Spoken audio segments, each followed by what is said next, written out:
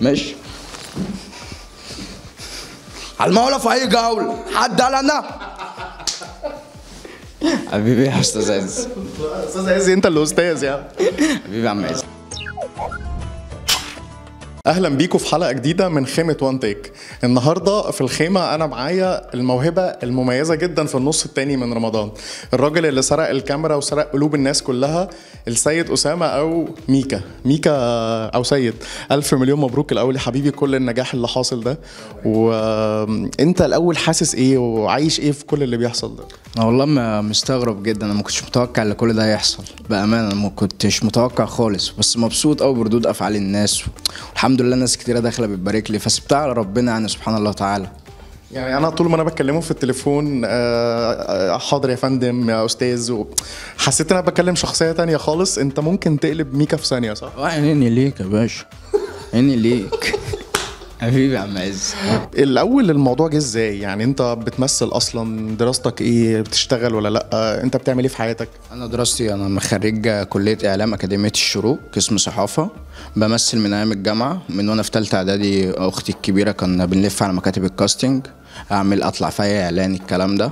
فالحمد لله يعني ابتدت معايا من الجامعة. خلصت الجامعة اشتغلت مع الأستاذ أحمد سمير ريان مسارح كتير في الجامعة وبره الجامعة. وخدت بقى ورش مع الأستاذ رأفت البيومي في B Acting عند خالد صفوت وحاليا عند إبراهيم فرج مع محمد أوزو. إزاي جت شخصية ميكا أصلا؟ شخصية ميكا يعني الأول أنا كنت في بورسعيد أنا أصلا عندي محل بتاع سيرجة عسل وطحينة فشغال الكلام ده فكنت بنزل القاهرة مثلا فترات كبيرة يعني. فوأنا رايح بورسعيد كان يوم الاثنين الساعة 8 ونص تعب بقلب على ال social media لقيت ال account بتاع الأستاذ أحمد عبد الوهاب. فدخلت بعت له ال showreel بتاعي اللي هو مجمل أعمالي يعني. اللي هو السيناريست بتاع المسلسل. يعني كنت في الطريق لبورسعيد ولا في بورسعيد ولا؟ لا الطريق لبورسعيد. ركبت السوبر جيت ورايح على الطريق عادي يعني فاهم؟ قلت لعل وعسى يمكن. بعد كده تاني يوم قال لي طب بص أنا ابعت لك مشهد وتصوره تصوير مبدئي. يعني اداك مشهد عام ولا مشهد من المسلسل؟ لا مشهد من المسلسل. المشهد اللي هو طلع ترند اللي هو بتاع شهادة وتحكيم يا عمي. إيه يا ميكا اللي حصل؟ بص يا عم عشان تبقى تكون حاضر السمر اللي حصل الصبح ده. سامر آه أخوك. أخويا ده اللي هو أبوك؟ هو أنت ليك غيره. تحرقش على المكنة وسيبنا نقول الكلمتين. ماليش غيره لا. تحرقش على المكنة وسيبنا نرمي الكلمتين. ميكا ده بقى اختراعك ولا انت قابلته ولا؟ ميكا أنا مزود سيد مزود تفاصيل لميكا. أنا من القمريه من منطقة شعبية. فكنت بشوف ناس كتيرة كده. شفت character يعني شبه ميكا شوية. فبقيت إيه أكت... معايا نوتة صغيرة. أكتب فيها الكلام ده. والحمد لله يعني ظهرت ميكا. ففي تفاصيل برضو كنت بزودها مع الأستاذ أحمد عبد الوهاب. زودت إيه مثلا؟ يعني زي على المولى في أي جولة. وأفخد. وأكسر بنفسك. وواحد مقرفص لي جنب الدورة. الدورة دي مكتوبة الصراحة لكن مقرفص دي أنا اللي جايبها الحمد اللي لله. قرفصت. آه أنا اللي قرفصت.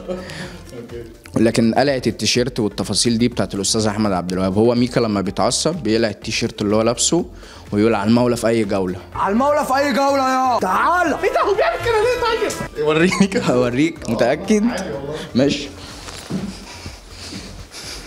المولى في اي جوله حد قال أنا؟ حبيبي يا أستاذ عز. أستاذ عز أنت اللي أستاذ يعني. حبيبي يا عم عز. touch wood وما شاء الله كل أعوذ برب الفلق وكل حاجة ممكن تتقال. أنت حظك حلو إنك مع كوميديانات ولاد ناس زي ما بيقولوا. يعني إن فنان كبير زي شيكو كوميديان كبير وكريم محمود عبد العزيز ابن الساحر محمود عبد العزيز يفرشوا لك كده ويسيبوك تتكلم مونولوج كامل وهم بيدوا رياكشنات بتضحك طبعا جدا. انت الأول اما اتعرفت عليهم إزاي عملت آه، يعني بنقول breaking ice كده عشان تعرف تتعامل معاهم وهم قالوا لك إيه في المشهد؟ في الأول يعني كنت خايف جدا وأنا داخل برضو لازم تخاف. لو ما خفتش يبقى انت في حاجة غلط فيك. لا كسرنا الحاجز الخوف ده مع بعضينا وفضلنا نهزر ونضحك والكلام ده.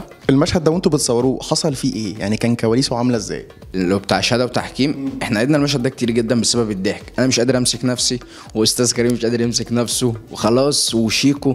دخلنا في كريز الضحك مش قادرين بجد. فلا بقينا بنسمي بالله واحدة واحدة بقى كده عشان إحنا مش هينفع كده. طيب أنا دلوقتي يعني المشهد كان مليان مصطلحات كتير الناس عايزة تفهم معناها يعني. أنا في حاجات أنا فاهمها صراحة بس في ناس عايزة تفهمها. يعني إيه مثلا؟ يعني قول لي كده تمام وملياسي واشرحها لي. تمام وملياسي يعني اللي هو الصح باب واحد بس. بص يا عمي هو عامة الصح باب واحد بس أخوك عشان تمام وملياسي ملياسي يعني بيعاملني بيعاملني اللي هو ما بيعاملنيش بقلبه بيعاملني أي حاجة وخلاص. أنا المفروض بابايا والصح باب واحد اللي هو المفروض أنا بتكلم معاك اللي هو الصح هو صح. الصح ملوش كذا باب. التاني داير يلف لي الحبل على الجرار. التاني بيلي آه. بص يا عمي والتاني قاعد بيلف لي الحبل على الجرار وهي أصلا كلها عيال سكرت طبنجة صوت. الحبل الحبل على الجرار يعني مش فاهم هو بيقول إيه قاعد بيقول أي حاجة وخلاص. وعيال سكرت طبنجة صوت اللي هو أنت لما بتيجي تخش خناقة البق دي سهله بالظبط بق آه عي- عيل بق ملوش أي حاجة. الناس اللي زعلت وقعدت تشتم الأول فيك وفي الشخصية وهم طبعا يعني ما يعرفوش إن ده تمثيل أو يعني بي- بيقولوا بقى أصل هنعلم ولادنا والكلام ده. وبعد كده كل الناس حبتك. أنت شفت ردود الفعل دي إزاي؟ بالذات الأول مثلا اللي انتقدوا شوية الأداء. أنا طالما شفت فيه انتقادات عرفت إن أنا نجحت. آه والله أنا بكلمك بجد. أصل بص طالما أنت حد هينكدك اعرف إن أنت ناجح. طالما في نقد والكلام ده اعرف ان انت هتوصل لحاجة. وبعد كده بشوية لا الحمد لله لقيت ردود الافعال ده ميكا ده عسل ميكا ده خطير مش عارف إيه. ولما أستاذ زي تامر حبيب بيخش يحط ال- ال post عنده على الصفحة عنده ال page فاتبسطت جدا. ناس كتير قوي دخلت كلمتني. يعني زي الأستاذة انجي علاء. آه بسم الله الرحمن الرحيم. الاستاذ مصطفى غريب الأستاذ محمد توتة الأستاذ فتحي عبد الوهاب. صلاح عبد الله معاك في مشهد. والأستاذ صلاح عبد الله ده أكتر واحد بقى يعني ده عشان خبرة وحاجة كبيرة قوي. كنت مستني قوي بقى المشهد بتاعي معاه. وأول لما خلصت قال لي أنت شاطر قال لي أنت شاطر وربنا هيوفقك. فاتبسطت جدا وكنت خارج من اليوم ده من ال location. أنا والله العظيم والله العظيم ما كلام أنا خارج بدمع. مامتك وباباك آه، ردود فعلهم إيه؟ يعني هيسيبوك تتجه للت... هتقفل السرجة ولا هتعمل؟ لا أنا الحمد لله يعني إحنا لينا محلات هناك. هو ده نظامهم. لكن مامتي لا تقول لي لا خليك انت في مجالك. يعني انزل القاهرة. واختي بتلف معايا من تالتة اعدادي على مكاتب ال casting. نصيحة عايز أقولها لك. يعني لو تقبلها من أخوك يعني. ما تنحتش شخصية ميكا كتير. وعلشان ما يبقاش زيك زي مواهب كتير طلعت ثم ما بقتش على الساحة تاني بسبب إن هي كررت نفسها كتير. بس هو السؤال اللي ممكن أسأله لك. هل نفسك شخصية ميكا تطلع مثلا تعمل فيلم مرة زي اللمبي؟ هو ممكن آه في الفيلم ده okay فيلم أكيد ده هيتشاف والكلام ده لكن كمسلسل تاني ولا هو سيد يعمل ميكا تاني أو قريبة من كده لا يبقى صعب معايا. يعني أنت نفسك تعمل فيلم لشخصية ميكا ده زي مثلا ما محمد سعد عمل الليمبي كده في البداية؟ طبعا طبعا طبعا.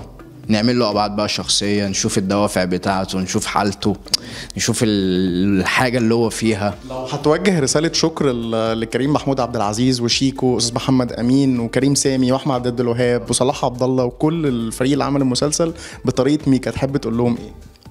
والله يا عمي أنا مبسوط قوي اللي أنا كنت معاكم وأنقذتوني من الضياع ومن الشغلانة بتاعت ميكا دي. والأستاذ محمد أمين برضو كان مديني مساحتي في الدنيا كلها. الأستاذ أحمد عبد الوهاب الناس دي اساتذه كبار وادت لميكا حقه ميكا خد حقه. والأستاذ شيكو الاستاذ شيكو برضو مرعب خد حقه من ميكا برضو يعني ولسه مشاهد كتير ما بينا ولسه الدنيا هتسيطر وأكتر وأكتر وأكتر. كريم محمود عبد العزيز. كريم محمود عبد العزيز؟ يا عمي. يا عمي قال لي قلت له فخد. لا ما فخدش. يعني يا سيد ألف مليون مبروك وبتمنى لك نجاح كبير قوي الفترة اللي جاية وإن شاء الله تكون كل خطوة ليك أنجح من اللي قبلها. إن شاء الله إن شاء الله أستاذ عز.